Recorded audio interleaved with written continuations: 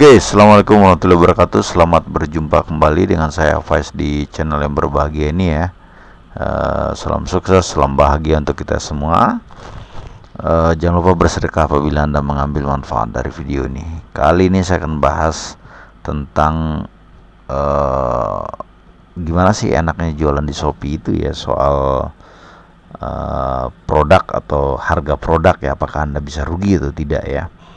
Uh, saya akan jelaskan ya bahwa di Shopee itu sebenarnya lebih lebih fair untuk uh, laporan keuangannya ya untuk apa namanya gambaran gampang sederhananya aja uh, Anda jualan di Shopee ya. Bahwa uh, di Lazada udah saya jelaskan tadi ya bahwa di Lazada Anda harus hati-hati ya banyak games yang dimainkan sehingga apabila Anda kurang-kurang paham ya anda akan rugi besar di Lazada dan bahaya ya apabila orderan itu sangat banyak ya. Jadi ketika harga udah salah Anda harus uh, coba untuk controlling daripada uh, stok Anda Anda kurang-kurangi atau Anda kosongkan ya. Uh, Oke, okay, selanjutnya saya akan uh, masuk aja ke Shopee. Bagaimana sih uh, harga di Shopee itu ya? Misalnya saja ya, saya akan ambil harga ini aja ya. Nah, ini legging ini orang udah banyak tahu lah modalnya berapa ya. Hmm.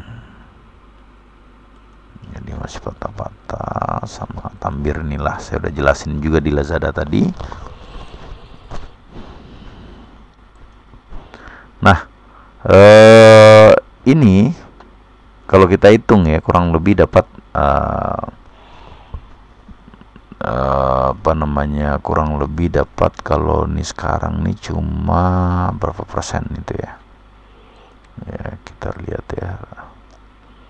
2004 99 35700 ya jadi 7 persen ya. Artinya bahwa ini total omset ya. Artinya bahwa kalau memang barang ini segini harganya satuan ya ini saya main grosiran ya sahabat-sahabat sekalian. Ya 11 9 0 0 dikali 7 persen dikurang 11 900 uh, sorry sorry.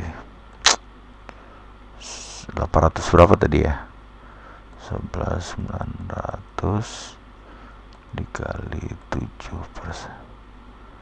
Dikurang 11 oke. Salah nih. Jadi ya gampangnya aja ini kalkulatornya nggak ngaco nih uh,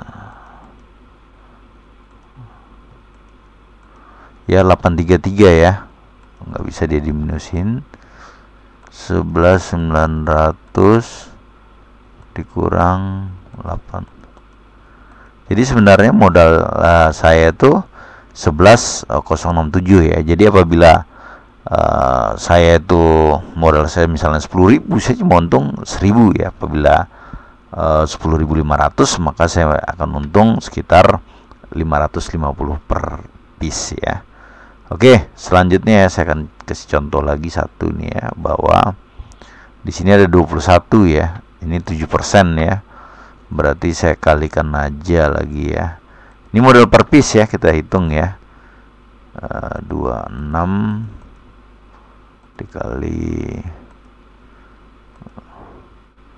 dikali 2000 terus sorry kok dikali sih dua dikali 182 ya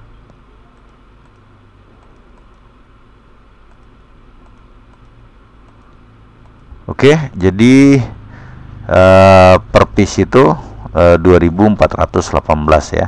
Jadi apabila saya modal misalnya 2000 maka saya cuma untung uh, 418 perak ya. Itu kotor ya.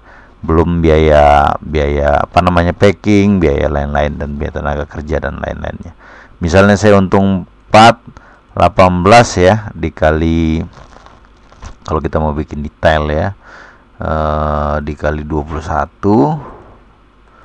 berarti saya untung 8000 ya. Taruh dikurang ini biaya packing print ya. Eh, sama dengan dikurang tenaga kerja misalnya uh, satu packing itu seribu ya misalnya. Berarti saya dalam satu paket ini saya untung kurang lebih 6000 sampai 7 ribuan ya. Oke sahabat-sahabat sekalian uh, jadi di Shopee itu sangat simpel ya apabila kita jualan.